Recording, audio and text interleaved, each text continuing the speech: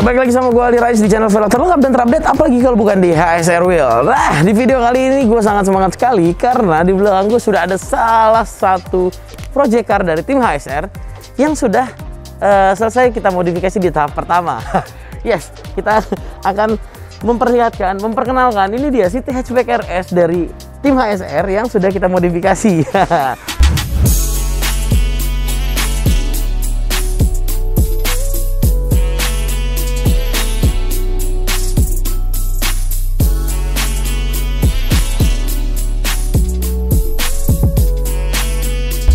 kita sudah memodifikasi. Yang pertama itu adalah body kit.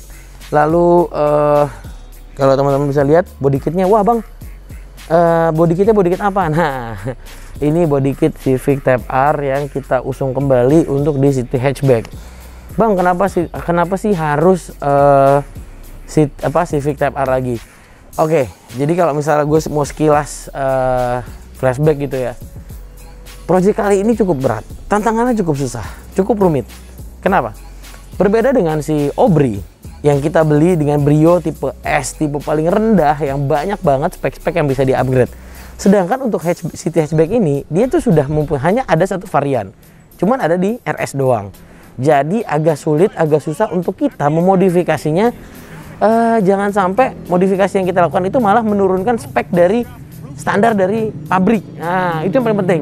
Nah, konsep modifikasi yang akan gue tanamkan untuk city hatchback ini adalah street racing. Ya, kalau misalnya bilang, wah bang, kenapa street racing? Jadi kalau boleh cerita, street racing ini adalah uh, salah satu aliran yang masih banyak diminati oleh uh, masyarakat di Indonesia, pemuda-pemuda, pemuda bahkan pemudi pun ada juga yang mengusung konsep street racing untuk modifikasi mobilnya. Selain uh, kalau misalnya teman-teman bisa bilang harga terjangkau, sebenarnya nggak juga sih. Banyak part-part yang harganya gila-gilaan juga. Maksudnya lebih mudah lah, cukup ganti velg, ganti knalpot, terus kasih sedikit-sedikit uh, apa namanya aksen karbon, selesai street racing. Nah, tapi cukup berbeda kali ini. Uh, kita sudah memasangkan ini body kitnya Civic Type R. Nah, bener banget. Sayang sekali uh, ada kesalahan pada pada pemesanan barang. Jadi waktu gue pesan itu ternyata side skirtnya nggak gue beli juga. Jadi side skirtnya belum kita pasang. Insya Allah soon side skirtnya akan kita pasang dan nah untuk velgnya sendiri kita sudah memasangkan HSR Minas ring 17 kalau misalnya gue sering uh, banyak lihat di medsos atau di teman-teman sekitar rata-rata si hatchback ini mereka malah downgrade untuk bagian velg. Yang tadinya ring 16 mereka turun ke ring 15 kenapa? Mereka mau ngejar lebih ringan dan lebih uh, racing banget gitu loh katanya. Karena kan biasanya kalau dipakai untuk di sirkuit dia apa kan mereka pakai rata-rata ring 15 tapi kali ini kita agak sedikit berbeda. Gua malah maunya naik ke ring 17 ya. Supaya apa? Supaya walaupun tampilannya racing tapi itu velgnya tuh kelihatannya keren gitu. Kelihatannya gede kelihatannya gagah kelihatannya kokoh. Nah untungnya di Acelera sendiri di ukuran ring 17 ini dia memiliki satu ban semi slick yang bisa kita gunakan.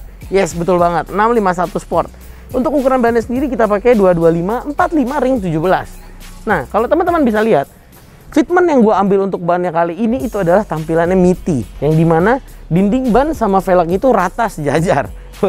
Gimana menurut teman-teman? Iya, gue tahu. Masih ada kucing yang bisa tidur di atas ban ini.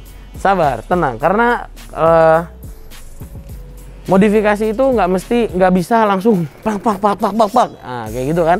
Jadi semuanya harus by proses entah itu pengerjaan entah itu ngumpulin waktunya. Jadi ya pelan-pelan. Nah kenapa gue udah bikin videonya? Jadi gue ingin memperkenalkan duluan sama kalian sebelum kalian bertanya-tanya. Mana city-nya bang? City-nya diapain? Atau bahkan mobil ini kan adalah mobil daily yang kita pakai sehari-hari. Siapa tahu nanti kalian ketemu di jalan masih bertanya-tanya. Itu apa ya? Nah maka daripada itu kita bikin video ini. Dan setelah ini pun juga masih banyak lagi part-part yang akan kita modifikasi Contohnya, uh, untuk City Hatchback terbaru ini, kita juga ada satu gebrakan baru yang mungkin belum pernah gue bikin di Obri, tapi akan gue tanamkan di City Hatchback ini. kira-kira apa? Gue juga masih rahasia. Nanti kalian akan tahu kira-kira City ini kita akan modifikasi seperti apa. Nah, untuk body kit sendiri menurut gue dia sudah cukup presisi. Dari depan, samping, kanan, bawah, atas ini juga udah cukup presisi banget. Dan bahkan fog lampnya pun juga masih bisa kita pakai sesuai lah menurut gua. Dan ini bahannya plastik ya. Kita beli langsung. Kita lihat di bagian belakang untuk bagian body kit ya. Nah untuk bagian belakang sendiri pun uh, gue rasa gue harus ada sedikit permainan lagi, perubahan sedikit. Jujur sih sebenarnya kalau dengan kondisi seperti ini juga ini udah bagus banget ya, udah keren, udah cocok menurut gue. Tapi ada sedikit hal yang bikin gue ganjel. Nah coba deh kalian boleh bantu gue untuk memodifikasi bagian belakang. Kira-kira ada yang kurang apa apa seperti apa? Kalian boleh komentar di bawah. Nah yang pasti nanti kita akan tetap menggunakan dual knalpot di mid di tengah ya jadi dia presisi dua knalpot ada di tengah kira-kira pakai knalpot apa ya nanti deh coba gue pikir-pikir dulu oke kurang lebih seperti itu dan masih banyak sih sebenarnya yang belum ya jadi dia masih botak juga masih belum ada spoilernya masih ada beberapa tahapan masih ada saskert yang belum kepasang. Masih banyak pokoknya modifikasi yang akan kita usung untuk CCT hatchback ini. Seperti yang tadi gue bilang modifikasi itu nggak bisa langsung blok blok blok blok blok kecuali memang semuanya sudah siap. Cuman yang pasti dalam memodifikasi mobil jangan sampai merubah atau keluar dari konsep yang sudah kalian tentukan dari awal. Contohnya kalau kalian dari awal memang oke okay, gue pengen street racing, ya udah cari part-part yang mendukung street racing itu. Tapi kalau dari awal gue pengen elegan, cari part-part yang mendukung untuk si elegan ini sendiri. Jangan udah sport tapi elegan juga. Tapi ya boleh juga sih sebenarnya karena modifikasi itu tergantung selera dan kebutuhan. Kata gue sih begitu, menurut pandangan gue. Karena ya mobil ini kita yang pakai. Jadi ya setidaknya gue modifikasi ini buat diri gue sendiri gue nyaman gue suka itu kalau misalnya teman-teman pada suka atau orang lain pada suka semua segala macam itu bonus tapi ya kalau orang-orang lain pada nggak suka ya coba kita lihat lagi yang salah di mana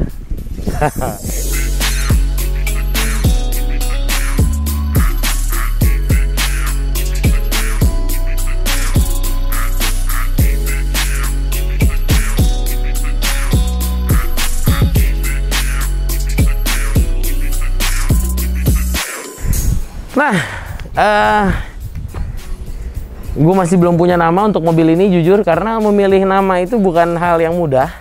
Teman-teman kalau mau ngasih saran, boleh silahkan komentar di bawah. Kira-kira nama yang cocok untuk City Hatchback merah dari tim HSR ini apa? Boleh komentar di bawah. Uh, dan masih banyak part-part lain yang akan kita modifikasi. Kalian pokoknya pantengin terus saja. Dari video ini tayang, gue umumkan, ya kan? City Hatchback tim HSR siap untuk kita obrak-abrik, siap untuk kita bikin keren, siap untuk jalan-jalan sampai keluar kota. Nah, Brio aja masa nyampe ke Sabang. Masa City enggak?